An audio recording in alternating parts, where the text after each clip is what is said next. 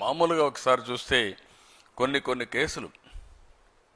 వీళ్ళు పెట్టింది నూట యాభై మూడు సెక్షన్ ఏ. ఈ నూట యాభై మూడు సెక్షన్ ఏ కింద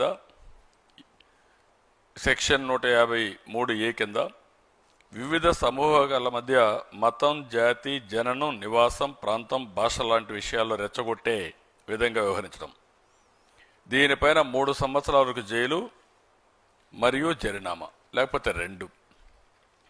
ఐపీసీ సెక్షన్ ఐదు వందల ఐదు ఏబి ప్రభుత్వాలకు వ్యతిరేకంగా ఏదైనా వదంతిని వ్యాప్తి చేసినను తయారు చేసినను ప్రచురించిన శిక్షించేందుకు. నేరం రుజువైతే మూడు సంవత్సరాల జైలు మరియు జరినామా లేకపోతే రెండు. ఐపీసీ సెక్షన్ ఐదు వందల ఐదు రెండు. మతం జాతి జననం నివాసం ప్రాంతం భాష లాంటి విషయాలు రెచ్చగొట్టే విధంగా ఏదైనా వదంతులు వ్యాపింపజేసి శిక్షించుటకు. నేరం రుజువైతే మూడు సంవత్సరాల వరకు జైలు శిక్ష మరియు జరినామా లేకుంటే రెండు. ఐపీసీ సెక్షన్ ఐదు వందల ఆరు. తీవ్రంగా గాయపరుస్తామని బెదిరిస్తే శిక్షించేందుకు. నేరం రుజువైతే రెండు సంవత్సరాలు శిక్ష జరినామా లేకపోతే రెండు. ఐపీసీ సెక్షన్ ఐదు వందల ఏడు. ఎవరైనా అజ్ఞాత వ్యక్తులు తీవ్రంగా గాయపరుస్తామని బెదిరిస్తే శిక్షించేందుకు రెండు సంవత్సరాలు జైలు జరినామా లేకపోతే రెండు. ఐపీసీ సెక్షన్ ఐదు వందల తొమ్మిది మాటలు సైగలు చేష్టల ద్వారా మహిళల్ని కించపరిస్తే శిక్షించేందుకు నేరం రుజువైతే మూడు సంవత్సరాలు జైలు మరియు జరినామా. పై సెక్షన్లు ఏవి కూడా సోషల్ మీడియా కేసులకు వర్తించవు.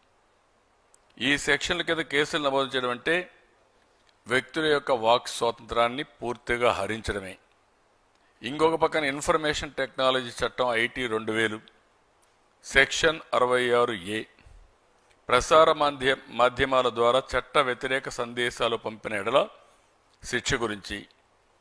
దీనిపైన సుప్రీంకోర్టు వారి రిట్లో నూట అరవై ఏడు రెండు వేల పన్నెండు రాజ్యాంగ వ్యతిరేకమని తీర్పు ఇచ్చి ఉన్నారు దీన్ని వాడడం ఈ చట్టాన్ని వాడడం రాజ్యాంగ వ్యతిరేకమని. అయితే ఈ సెక్షన్ కింద కేసులు నమోదు చేసే పరిస్థితికి వచ్చారు. సుప్రీంకోర్టు గైడ్ లైన్స్ జడ్జిమెంట్స్ను వైలేట్ చేసి ఈ సెక్షన్ కింద కేసులు పెట్టే పరిస్థితికి వచ్చారు. దీనిపైన మూడు సంవత్సరాల జైలు అది మరి లక్ష రూపాయలు జరినామా లేకపోతే రెండు? సెక్షన్ అరవై ఆరు డి. కంప్యూటర్ ద్వారా ఏదైనా విషయాన్ని మార్పు చేసి మార్ఫింగ్.